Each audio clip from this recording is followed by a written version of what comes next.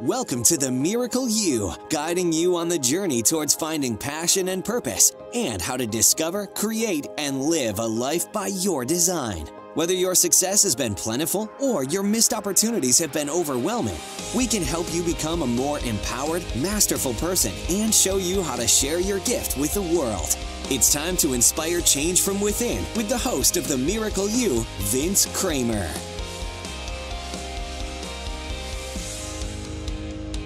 Hello, everyone. We are your hosts, Mary and Vince Kramer. Welcome to Waking Up, where we share discussions, insights, and information about science, spirituality, and living a life of your design. Welcome, everyone. We are so happy to be here with you today to share our insight and perspective on the message we received from the Roundtable Channeling on our monthly free community channeling. For those of you that aren't familiar, Vince channels a group of energies that refer to themselves as the round table because these higher frequencies join us as equals to help us live life in a way that fulfills our reason for being on earth. This channeling happens on the third Monday of every month at 6:30 mountain time. I always think it's the best channeling, but I always think every channeling I'm listening to is the best. I listen to them over and over because there's so much packed into what they share with us. Also, the message in each channeling seems to expand as we become more aware. So, Vince, I thought it'd be fun if you and I talked about what the roundtable bring. And before we start, just hopefully you'll uh, check in. How do you feel about the channeling? What's it? What was it like for you to be a part of that one in February? Well, I absolutely think it's amazing. First of all, there was such a synchronicity in in what we shared the week before in our podcast about promptings and messages. And I, I was, I guess I was going to say I was amazed, but I'm never amazed by the roundtable on on what they bring in and what they share. And it was in such alignment with the the week before. I I was just so happy that they were able to really take that information a little bit further. And it was an exciting group of people. So, um, a, as you know, I don't remember much of what happens during the channelings, but as I read back through the transcripts, uh, it was a very powerful night for everyone, and and I loved what the roundtable shared in the way that they did. I agree with you. One of the things that I know they wanted to expand on as they've been listening in as people have read our book, Awakening Through Moments of Choice, that people have read our story and they've said, well, I haven't had a situation where, you know, people have seen the little blonde girl in my aura, or I d- haven't had a situation where someone um, saw the little boy you know there there's so many stories in that book and they really wanted to impress upon everyone that guidance is calling on them right now. And this is a time that we are needed to wake up and i know that because so much of what they say is embedded in your cells what extra do you remember from that night that you'd like to share about how they shared for all of humanity that this is their wake up call? That channeling was, hey, this is your red haired little boy. This is your blonde haired, blue eyed little girl. Well, the one thing I, I don't think people realize because it's really not addressed in a very strong way in the book is that there were a lot of wake up calls for me along the way. A lot of what we call conscious ones, eh, where I knew that there was something missing. I knew that I was supposed to be doing something different.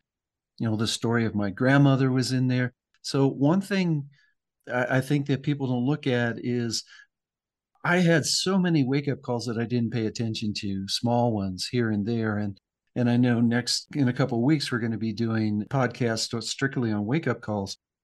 But I, I want people to know that I didn't listen to a lot of that information. So there there might be a lot of stuff that you're missing because you just don't know where to look for it or you don't trust it or you're just too darn busy to realize that those messages are there. Then the other thing that I wanted to share was the way that I read the transcript is what they were saying is there's so many of you that that are saying, well, I wish the angels told me that they've been waiting for me. And boy, they did, didn't they? They came they did. said, "Hey, listen, this this this message is for you. It's it's your time. We have been waiting for you. If you're on this call at that moment, or you listen to this recording, it's your time. We're telling you, waiting for you." Exactly. I think I think it's so important you made that point. Being on that call was a wake up call. For sure. I, I think every single one of them are, Mary, to be be honest with you. In the questions that people ask, you know, they're looking for that guidance, they're looking for that direction, and it's always wake up, wake up, wake up, really, uh, for everything that they're sharing. But I, I can't for for those of you who are listening to this podcast right now, the roundtable told people we are waiting for you to wake up. We're waiting to bring you the guidance to help you on your path. It doesn't get any better than that. I love that. That's so true. You mentioned uh, people's questions. So I thought it'd be fun if we went over a couple of the questions that night. One of them was someone who has taken our classes and is involved with us in the programs that we offer and which also means they get to speak with the roundtable every quarter as well. She asked a really good question, and her question was, What does it mean to be in alignment? And I was actually really happy they that she asked that because it gave me some more insight into uh, being in alignment and what that means. And they actually, because you know they're always coaching, they gave several questions for all of us to ask ourselves. So before we go into, you know, the roundtable and and what they said about being in alignment and sharing with our listeners those questions, how do you feel about being in alignment? Do you think that you're just automatically in alignment with your true self or do you consciously align yourself every day? Well, uh, that's a very interesting question because the answer to both of the things that you ask, I think, is yes. Uh, I, I think we're all in alignment with our true selves. I just don't think we know what that is, so we don't know what it looks like. And because of that, you know, we we miss the cues to take us on our path. But also, I think we've spent so much time uh, learning what's expected of us and what other people want to see from us or see in us that we've become really automatic with that. With uh, you know as a pilot i love to say we're operating on autopilot. The masks automatically show up the shadows rear their ugly heads the mirrors and projections are there for us. And, and i think we we just don't realize that if we just surrendered, that we would be in alignment with who we are. And, and I'm the same way. So, yes, I try every day to align myself to who I am. And, you know, it's a it's a journey, everyone. Don't expect to be able to do it right away. And don't expect for the people around you to accept even when you do, because we've all been programmed, we've all been trained really to accept how life is and how other people show up in their lives. And it, it's truly Mary staying in that conscious mind and wanting to be in alignment and making sure our thoughts are in alignment. And I think that's what you uh, bring so amazingly to Imagine Miracles is what you just said. You have figured out and you're so patient and loving in your coaching and your teaching to really help people stay in that conscious moment and learn how to be conscious, learn how to stay conscious, learn when they're not conscious. Like you said, you know, surrendering to it. Because when we're not in the surrender, and that's probably a whole different topic, but when we're resisting, let's say, we're not in the present moment. We're not in the conscious mind. So I just wanted to, you know, give you a shout out for how much I think you bring to humanity with your talents and gifts. So I wanted to move on to the roundtable. They shared similarly to you about being in alignment with a little different twist. And you could say the twist is as we expand, what is what's the further expansion to be focused on. And what they said is that they share for the group that your thoughts, your actions, your feelings, your attitude all have to be in alignment with who you are and why you're here on this earth. They have to be in alignment so you can create the circumstances. So I think that's just what you're saying, Vince, but it's also, you know, an expansion on what you're saying. Well, exactly. And we've we've shared that in a couple talks that we've given also. Uh, maybe not in those exact words, but but pretty close. When you don't know who you are and you don't align to that energy, there's chaos created because there's a difference in vibrations, a difference in frequencies. And that chaos is not just felt by those people that are in contact with you, but if you want to look at it energetically, it creates some chaos in the universe. The universe doesn't know you know, are you truly being who you are, or do you want to be something else? And how can the universe support us if there's that difference, that confusion? So, yeah, I, I love what they said there. If we align our actions, we align our message, we align our thoughts and feelings with who we are, but not just that, then also do we take our thoughts and feelings and align it with what we want to create in the world. That's what really opens the door to the magnificence of who we are as creators. Exactly. And, and i want to add to that that they also said that being in alignment with your with your true self puts you in a position where you're making the most difference in other people's lives when you're in alignment with yourself then you are aligned to that difference. But like we've been saying, everything you're saying, everything the roundtable has been saying, it all has to be in alignment. So that brings me to the questions.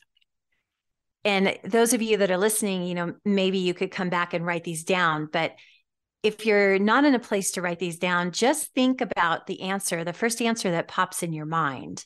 The first one they said was, do you have the number of calls that you want in your business? Yes or no? Are you surrounded with the community that you want? Yes or no? Are you living in a place of abundance where you know that all your needs are met? Yes or no? Are you continuing to grow and expand? Yes or no? And they said, if the answers to all of these are yes, then you're in alignment. Most of the people, Vince, I know you couldn't see them, but most of the people on the call were shaking their head no. They couldn't say yes to all of those questions. And they said, if you're coming up short on what you want to attract into your life, then you're not in alignment. It was very clarifying. And they definitely were pointing out to us that we know where we want to be. We understand what it would look like if we put our attention on it, what it would look like for us to create that life that we're looking for. Unfortunately, we kind of cut ourselves short in really putting out there what we do want and and how we want it to show up in our lives. And then just to notice if your energy isn't aligned with who you are and what you want, you're going to be attracting those things into your life. And in attracting them into your life is when you're going to realize, ah, I am bringing those numbers of calls in if you've got a business, or I am aligning with the relationship that I want in my life or the health that I want to experience. So I, I think those questions are very important. All of us can come up with our own questions to ask ourselves. It's just making sure that you're also in that conscious mind enough to catch the thoughts when you're outside of it or catch the feelings when you're outside of being in alignment. You mentioned being in alignment with what you want. Just as a side note, one of the things we talk about with the people in our programs all the time is the really cool thing to know is your higher self knows what you want. So there's a little side work everyone could do. What we call it Imagine Miracles, your true self is your quintessence. And the other thing that we uncover with you, because you have all the answers, is your divine intent. And they were saying, the roundtable was saying that the most important thing is to align with your quintessence and to align with your divine intent. If you're already, and they said this, most of you are already in alignment with what you're good at and enjoy doing. You're already in alignment with your gifts and talents. But you have to be willing to choose to use them in everything you do. Yes, and like you said, being in alignment with your divine intent we we're truly here to make that difference. We're we're truly here to share with the world uh, a difference that will change not just for one person or the 20 people that you're working with in your business or the 30 people in your family that you're sharing with. We're here to truly make a difference for all the world.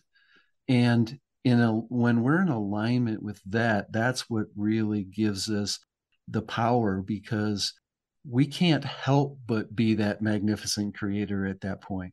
When we're living the reason that we're here that's where our, we're truly empowered. Absolutely. And i think a lot of us misunderstand why we are here. And we think that our how how we do things our gifts our talents is our why. And they were very emphatic about no, you really must uncover your why. You are living your how, but uncovering your why is so critical. And that takes us into the second question that came up. This was from a woman on the call who is planning an event in, in the probably, I think, at the end of spring. And she's quite um, confident and she shines out all over, yet her numbers aren't where she wants them to be yet. So even though she is doing her work, uh, you know, she's out there being of service and she's shining her light and she's attracting people, she wants to be more in service. And that was her question How can I do that? And their answer was to come fully from your end, meaning fully from knowing who you are, your quintessence, and uncovering your divine intent, your mission. If you believe that you're shining out that energy, you are. But if there's doubt, it's the belief that you may have underneath that beautiful shining out that she has that creates the difference and why there aren't as many people as she wants coming, clamoring to hear what she has to share. I think one of the things that's most important for all of us is to realize we need to find that difference that we're meant to make. Because when we're in alignment, back to that first question, when we're in alignment with the difference that we're meant to make, that energy is going to attract those people that are looking for that difference. And for this individual that uh, shared who she was and where she's at and, and answered the questions of the roundtable of, you know, what what difference are you making in the world? Uh, she shared really what we've been taught over the years of what purpose is I, I remember an exercise that I did with a, a, a very excellent coach. And that exercise was name two things that you really enjoy doing and name how you wanted to change people's lives And if you put that together, it's your purpose. So I, I can't remember exactly um, what I put together, but I had this plaque in my office and, as a reminder of my purpose. And it was teaching and traveling. And I don't remember what I wrote down to as the difference that I wanted to make for people. That's what the roundtable said the other night is your what. It's it's your what of what you have to offer in the world. It's your gifts and talents, your unique process, and how it helps people or the people that you want to serve. But they also said that what turns out to be your how to live that difference that you want to make, your divine intent. And we'll do a whole podcast on that because it's so important. But that's what they were saying the other night. If you if you uncover what difference you're here to make and you put that energy out into the world, those are the people you're going to attract and your event will be full or as full as it can be of those people who are ready for that difference. And then when you bring them in to work with you through your coaching programs or or your training programs or or just interacting with them in whatever business or however you want to live your life then you're using your talents and gifts. You're using how you want to make a difference in their lives not necessarily a difference in the universe the difference in the world. That's the how of making that difference. Great clarification. I wanted to add that they also talked about because most of us are interesting in marketing and how we use our words to attract business to us that we were just talking about with the events. And is that lots of times we use words from our what or how as you just explained.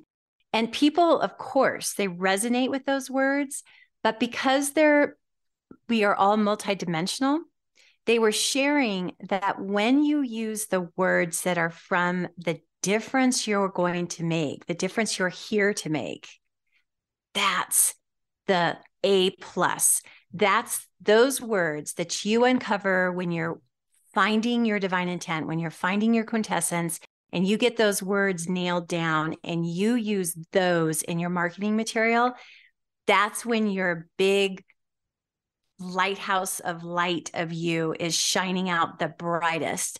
And that's where the electromagnetic attraction happens with the people that are looking for you to be moved and supported into the difference that they're here to make.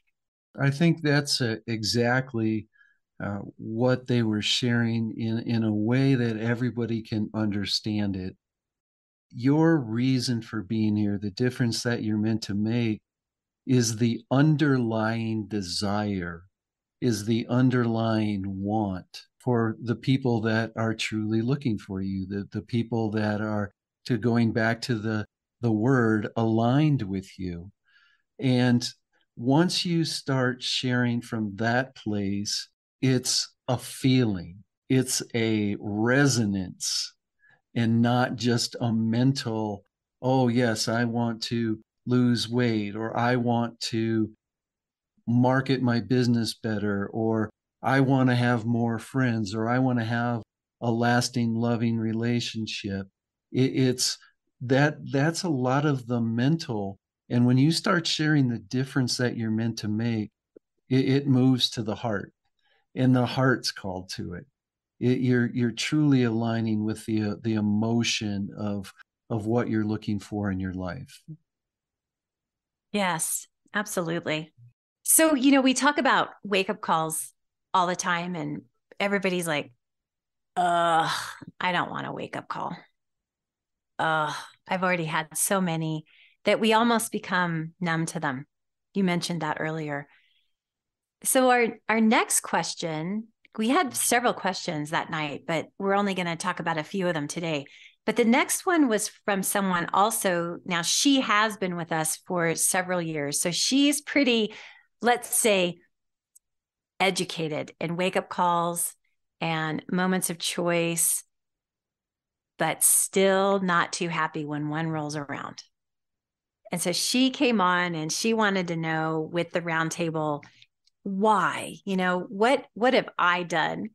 And I felt such compassion for her and just, you know, wanted to I wanted to support her, but I knew they would. And they did. And one of the ways that they went about this is to define a wake up. So they defined a wake up in this case as an opportunity to look at life and decide if you want to live it differently. And all of us that were on the call, we could just see her breathe a sigh of relief. It was like, that felt really good to me. There's this circumstances happening in my life. And, you know, am I a failure? What did I do wrong now? And they were saying, no, it's really all about vibration and it's about choices and it's about co creation. And how do you want to live your life differently? How do you want to live differently in a higher vibration? And I want you to comment on this. And then when I come back, uh, they gave us some really great coaching questions. Well, the interesting part of that is we always ask ourselves, why do bad things happen to good people? It's really a message, it's really a prompting for you to align again. Uh, this is definitely the, the word of the podcast to align with who you are and to align with why you're here. You're here to do that. And it's really about remembering those things and then stepping into it. And I think that what happens is, especially once you know who you are and why you're here, and you choose not to be that, remember, not choosing is a choice. And I think I love that statement because this person that you're talking about didn't necessarily choose not to follow their divine intent. She just chose not to choose. Powerful. Because of that, we're going to go to what our equilibrium state is, and that's who we are in the moment. There does need to be a transformation for you to step into that space. So it's really not bad things happening to good people. It's things happening that are created, co created by that non physical part of you, your higher self. So you make the choice to step into who you are because that's why you came to earth to live that divine intent, to be who you are. And it's doing everything in its power to get you through your free will to choose to be that person. Absolutely. So, as promised, here are some of the questions that the roundtable shared that you, as our listeners, can think about and journal. Do you feel good in this moment? Are you in your happiest expression of you right now? Are you in the healthiest expression of you right now? And are you in the most content expression of yourself right now? Basically, would you agree, Vince, that if you're feeling not really on most of those questions, more than likely you are at a point where you do need an opportunity to look at life differently and make a decision. And can you choose? Can you choose in that moment to say, ah, the answers were no or or maybe not. Maybe. So it might be a good idea to okay, well, what would that expression be? And how do I want to start living it? Because now you're taking away the need for that wake up call. And I think the operative word in every one of those statements was most. because we have a tendency to believe that oh i i found this short-term fix i found this short-term thing that okay i'm happy but it's it's reaching out to the outside to make you happy or it's reaching out to a relationship to to be in that happy space. And is that really the most happy expression of you? Is are you truly living from a place of ah this is the most. It's coming from the inside. I'm healthier. I'm happier. I know that i'm going in the right direction. And then those wake up calls at least at that level aren't going to come but there will be messages and promptings for us to listen to but when you start aligning to who you are it's easier for you to accept and see those messages that are coming in. I think that's really great advice. The other thing that they mentioned to this person was it's time to stop covering up. And that's just another way of saying what you just said. It is time. They're calling out to us. We're calling out to people. We're shining our light out. We're asking people to stop covering up their light to stop hiding from the world. It's time to let beliefs of the past hold you back. It's time to let the beliefs of the past not hold you back. It's time to let go of those and step truly into who you are.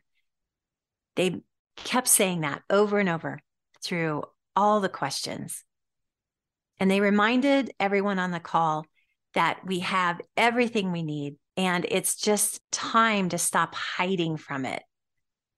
They did go into a little bit more, which might be interesting for some people, um, suggesting that we really move out of our head and move into our heart.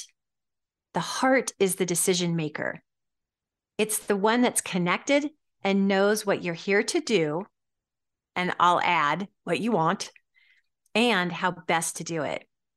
Now, your brain is there to help you create in this earthly world, this 3D environment.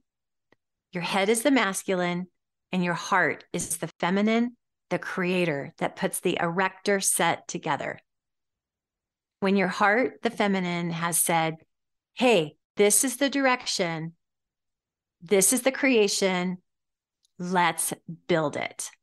Mary, believe it or not, we're getting close to the end of our time, and we definitely need to put that discussion right there on a list of, of podcasts to come because it's so important to understand the the heart and, and brain and how they come together and the masculine and the feminine and how that has to come together in each one of us. So I can't wait to share that on a future podcast. Yes. And I just want to remind everyone that you too can join these calls the third Monday of every month at 6:30 p.m. Mountain. We don't hand out the Q&A part of the recordings. So you do have to attend to get that information, but on our YouTube channel you will find the intro and the outro of the TRT, which is always full of education and timely for the moment that we are in when the call is happening. Yeah, I just want to share that that YouTube channel is Imagine Miracles, so it's pretty easy to find. Absolutely. So, like you said, we're at the end of our time, and we hope we have encouraged you to see how you are being supported in being all you can be. If you want to learn more about Imagine Miracles and other topics about living your unique purpose, please go to imaginemiracles.com. And as always, you can get our best selling book, Awakening Through Moments of Choice at Amazon.com. Yes, we want to uh, remind you the guides said that they are waiting for you to wake up to who you are. And we are here to help you on that journey to find who you are, why you're here, and then bring it fully to the world because the world truly needs you. Until we come together again in another episode, we want to wish each and every one of you a miracle day. You've completed this episode of The Miracle You, but we have plenty more to help you discover your own personal passion and purpose. Head over to themiracleyou.com for free resources to assist you on your journey, as well as register for our free webinar, Discover Your Miracle Life Three Mind Awakening Steps Toward Your Unique Purpose, or apply for a one on one Your Life, Your Way breakthrough session and discover your next best step on your journey. All available exclusively on our website. That's themiracleyou.com. We look forward to sharing more experiences of passion, purpose, and life by design next time, right here on The Miracle You.